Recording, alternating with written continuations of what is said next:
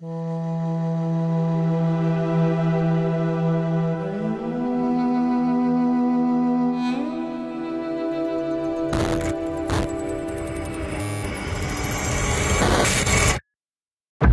Kea is nearly 14,000 feet above sea level, and everyone there is at risk for altitude sickness. As we told you last night, high altitude and dangerous conditions played a role in the rescue of a 68 year old man on Mauna Kea Monday night. At least four deputy sheriffs and one attorney general investigator were evacuated from Mauna Kea and hospitalized for altitude sickness.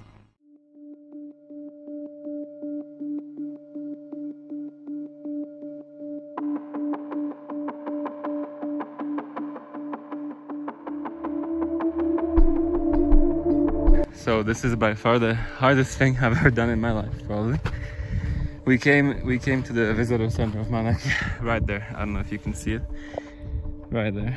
And we show up unprepared as hell. Apparently, they told us uh, they asked us how much uh, water we have per person, and we were like, oh, altogether we have around two and a half liters of water. And then the guy looks at us. the guy looks at us and he goes now you need at least three to four liters per person. Thankfully, got some more bottles. And um, oh yeah, what else did he say? He said that he asked us if we ever climbed in an altitude before. We said no. like uh, this is the highest I've ever been. The visitor center is the highest I've ever been in my life. So I've never experienced altitude. I've never had altitude sickness. He looks at us. He goes, "Well, this is the highest elevation change in a short period of time that you can experience in the world anywhere in the world. And uh, he told us that there's people that do Ironman triathlon all this all this shit and he tells that they struggle usually so. Fun. Fun but it's not stopping us. We're gonna make it to the top. Hopefully we make it down before sunset. The scenery so far is unbelievable.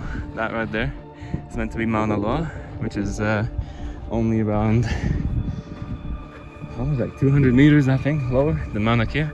Also, Mauna Kea is the tallest mountain in the world, technically. Oh my god, I need to catch my breath.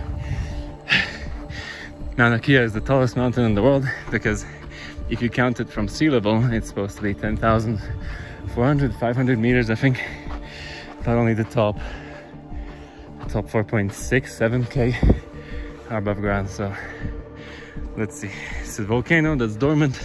It's been dormant for six to four thousand years i think they said. And yeah the footage sucks but you try to record when you're in such high altitude walking this trail. Oh yeah I'll, I'll check in later with you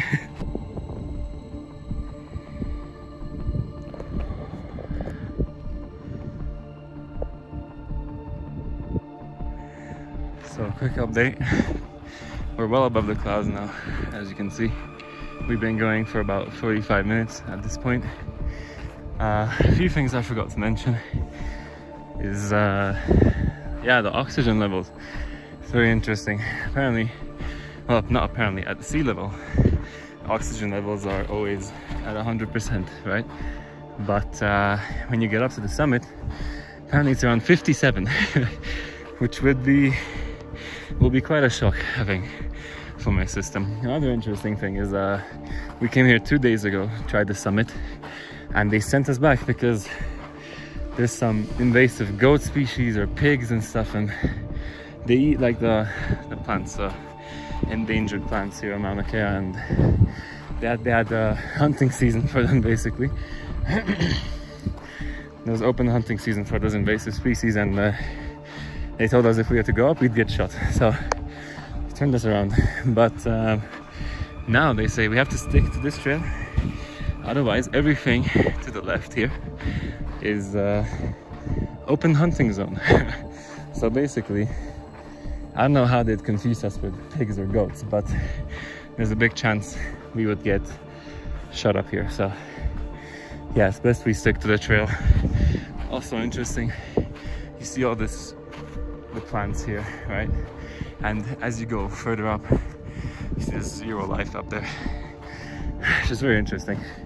But yeah, quick update. It's going okay. We're tired as shit, but it's good. We're enjoying it, taking it step by step, and yeah, I'll give you an update once we're almost at the top.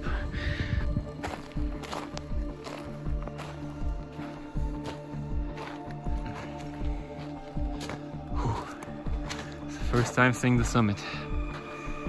Halfway there.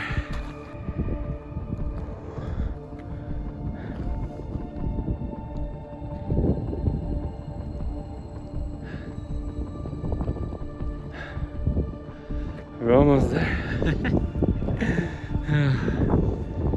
this has been the toughest thing I have ever done in my life, probably. But we're almost there.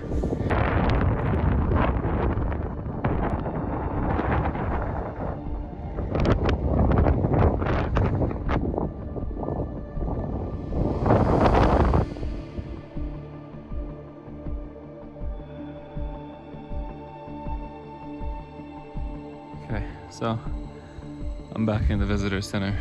We made it. It was, yeah, final thoughts. That was the hardest thing I've ever done my entire life.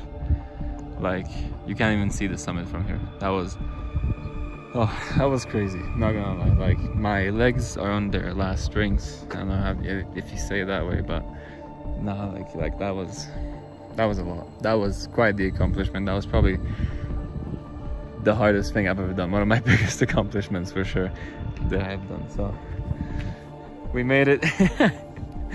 we survived and it was worth it. So I don't know if the footage is good from the top because I was so dead. I don't know. I, I don't. I don't know if I held the phone correctly, but yeah. Anyway, I hope you enjoyed the video. I'll see you in the next one.